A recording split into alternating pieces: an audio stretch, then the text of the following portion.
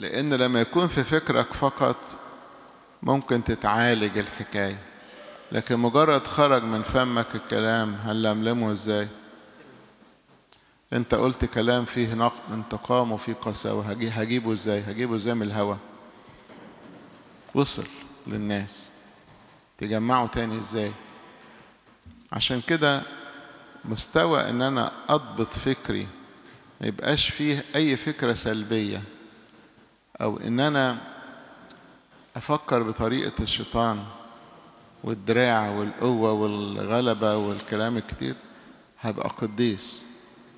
لكن لو أنا أفكاري متعبة لكن بقدر أضبط لساني تبقى رجل كامل زي ما قال القديس يعقوب في رسالته.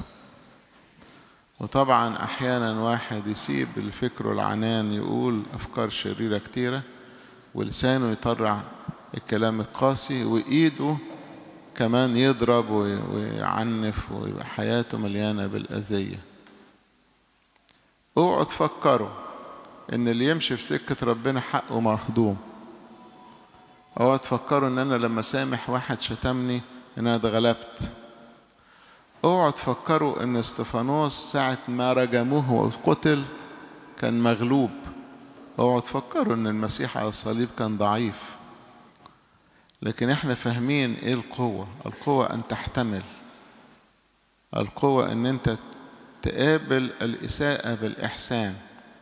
القوة إن يكون قلبك متسع يتسع للجميع وتستوعبهم وتريحهم والحاجة اللي الناس عايزاها خدوها. أنا مش عايز حاجة.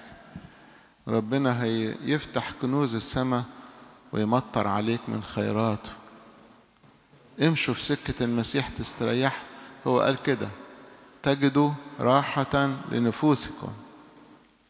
تعلموا مني لأني وديع ومتواضع القلب فتجدوا راحة لنفوسكم. وقال احملوا نيري عليكم. إيه هو النير؟ تنفيذ الوصية. تقول تقيلة قوي طب جرب. جرب إنك تسامح واحد أهانك هتلاقيه نير هين وحمل خفيف. هو الشيطان بيدينا إيحاء كده إن أنت لو سمحت هيبقى موضوع صعب قوي موضوع صعب قوي لسه واحدة مقابلاني بتقول لي أنا مش قادرة أنسى الأسية بتاعه حد أذاني. أنا مسامحاها لكن مش قادرة أنسى. بضحك على نفسي بكلمة مش قادرة أنسى. وهي قالت لي صلي لأولادي. قلت لها عشان ربنا يبارك ولادك سامحي الست دي.